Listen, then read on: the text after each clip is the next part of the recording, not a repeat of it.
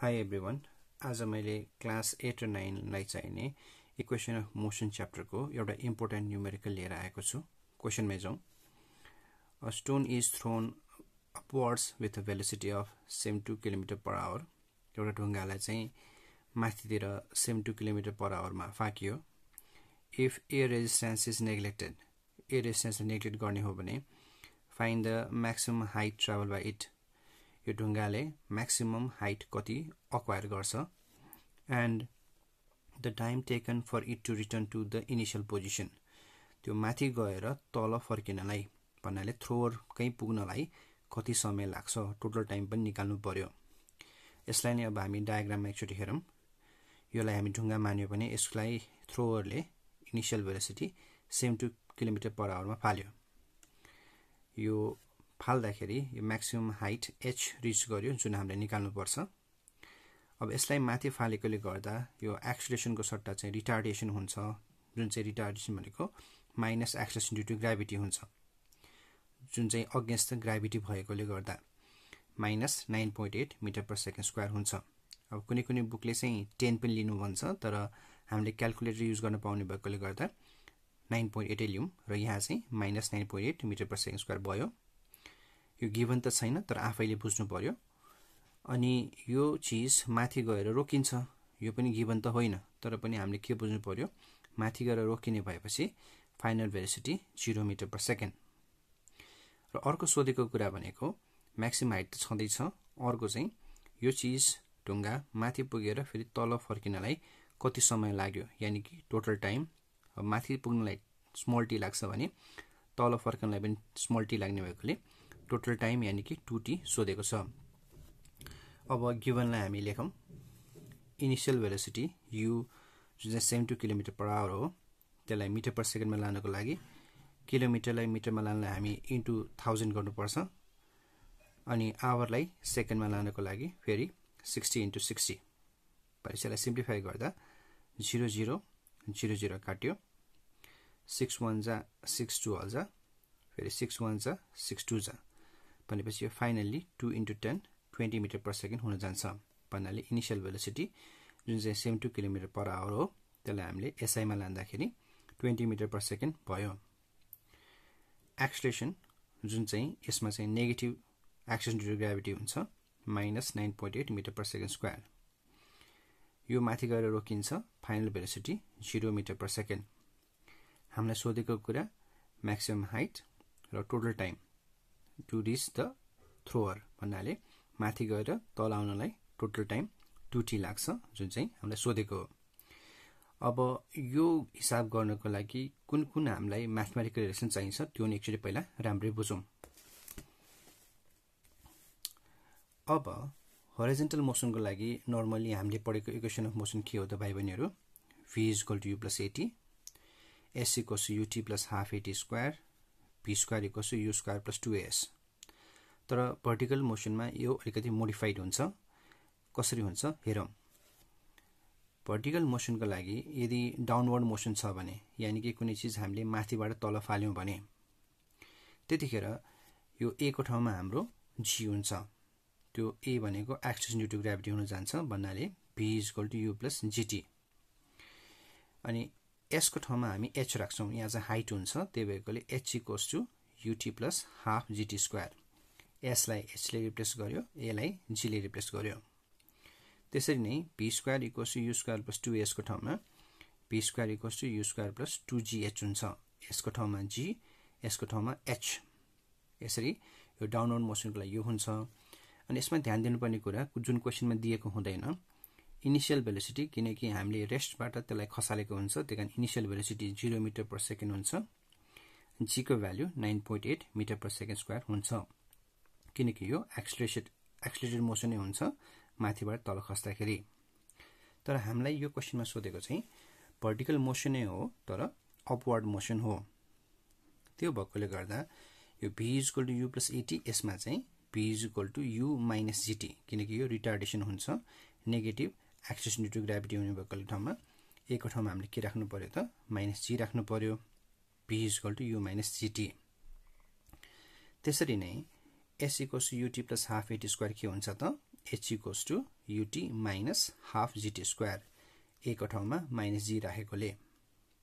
त्यसरी नै v square equals to u square plus two s यसमा चाहिँ v square equals to u square minus two g h एको ठाउँमा minus g यसको ठाउँमा एच र यो पनि फ्रिक्वेन्टली युज हुने फर्मुला हो। H equals to u plus v upon two into t यो नै normal equation of मोसनमा s equals to u plus v upon two into t हुन्छ। यसरी मेनली चाहिँ एको ठाउँमा हामी जी अथवा माइनस जी रिप्लेस गर्छौँ यसको ठाउँमा एच रिप्लेस गर्छौँ भर्टिकल मोसनको लागि। र यसमा स्पेसली के हुन्छ त? दिएको त हुँदैन तर हामीले आफैले के बुझ्नु पऱ्यो भन्दा कुनै चिज माथि फाल्दा यो रेस्टमा जाने भएकोले गर्दा final velocity zero metre per second माथि फाल्दा negative acceleration due to gravity हुने भएकोले गर्दा एक्सटेसन भनेकै माइनस जी यानि कि minus nine point eight metre per second square हुन्छ। यो चाहिँ हामीले यस्तो क्वेसनमा चाहिने बेसिक कन्सेप्ट भयो। अब फेरि हामी ब्याक टु न्युमेरिकलै जाउँ। अब न्युमेरिकलको कुरा गर्नुपर्दा हामीलाई पहिला एच निकाल्नुपर्छ र टाइम निकाल्नुपर्छ। हामीसँग भएको पी ए अथवा माइनस जी र यु छ त्यसो भए हामीलाई हाइट निकाल्नुभन्दा पहिला टाइम निकाल्न सजिलो हुन्छ होला। त्यसको लागि हामीले यो फर्मुला युज गर्न सक्छौँ। कसरी? हामीसँग भी छ। भी हामीसँग जिरो मिटर पर सेकेन्ड छ।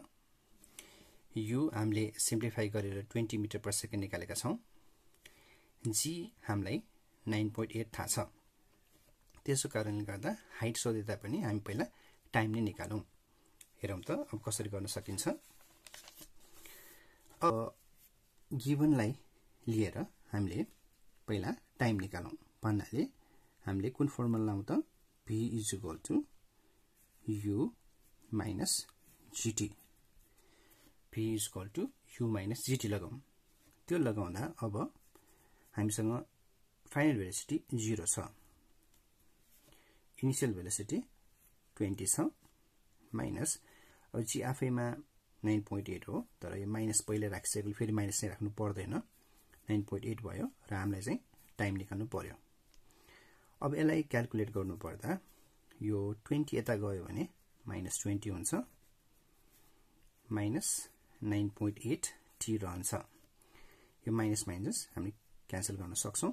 भनेपछि ट्वेन्टी छ नाइन पोइन्ट एट उता गएपछि डिभाइड हुन्छ। Nine point eight equals to त्यही कारणले गर्दा यो माथि पुग्नलाई हाम्रो ट्वेन्टीलाई नाइन पोइन्ट एटले डिभाइड गर्दा हाम्रो के आउँछ भन्दा two point zero four second आउँछ। तर क्वेसनले सोधेको माथि गएर फेरि तल फर्काउनलाई कति समय लाग्छ भनेर सोधेको छ। त्यही कारणले गर्दा हामीले टोटल टाइम निकाल्नु पर्दा के गर्नु पर्यो त? टु इन्टु टी गर्ने भनेको two into two point zero four यानि कि four point zero eight second भनेपछि हाम्रो total time to reach the thrower चाहिँ four four point zero eight second भयो। है भनेपछि हामी कन्क्लुजन लेख्न सक्छौँ। Therefore the time taken therefore the time taken for it to return to the initial position. Initial position is 4.08 second. 4.08 second लाग्दो रहेछ त्यसलाई इनिसियल पोजिसनमा आउनुको लागि। अब अर्को सोधेको कुरा उसले हाइट हो। हाइट म्याक्सिमम् हाइट कति? अटेन्ड गर्यो। त्यो भने अब त्यसको लागि हामी फेरि अगेन हामी के गर्न सक्छौँ त? म्याक्सिमम् हाइट निकाल्नको लागि चाहिँ हामीले अब जुन चाहिँ हामीले अघि लेखेको रिलेसन मध्येमा लास्टको u plus v upon two into t u plus p upon two into t लाउँदा हामीलाई सजिलो हुन्छ। अब यसलाई कन्टिन्यू गर्नुपर्दा यु भनेको हाम्रो ट्वेन्टी छ भाइ बहिनीहरू फाइनल भेलोसिटी यो रेस्टमा गएकोले गर्दा जिरो भयो। टु इन्टु टाइम चाहिँ हामीले भर्खर निकाल्यौँ। यो दुइटा मध्येमा यो चाहिँ लिने हो है। हामीलाई भर्टिकल मोसनको लागि यानि कि अपवर्ड मोसनको मात्रै टाइम चाहिने हो टोटल चाहिने होइन यसमा। त्यही भएकोले two into two point zero four my mistake यसलाई सिम्प्लिफाई गर्नुपर्दा twenty upon two into two point zero four भनेपछि यो ट्वेन्टी पोइन्ट फोर मिटर हुन्छ। यसरी हामीले म्याक्सिमम हाइट पनि निकाल्न सक्छौँ। Therefore the maximum height reached by the stone is 20.4 metre है? यसरी हामीले यो total time taken for the stone to reach the observer र अर्को चाहिँ म्याक्सिमम हाइट रिक्वायर पनि हामीले क्यालकुलेट गर्न सक्छौँ। आशा गर्दछु कि भाइ बहिनीले बुझ्नुभयो होला। नबुझ्नु भएको भए कृपया कमेन्ट बक्समा गएर फेरि सोध्न सक्नुहुन्छ। Thank you